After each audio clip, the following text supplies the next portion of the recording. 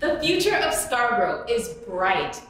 Let's continue to invest in the expansion of Scarborough. I am thankful for the federal government's investment in the subway expansion that fully funds this project. Let's also support the Eglinton East LRT expansion so that we can get Scarborough moving fast.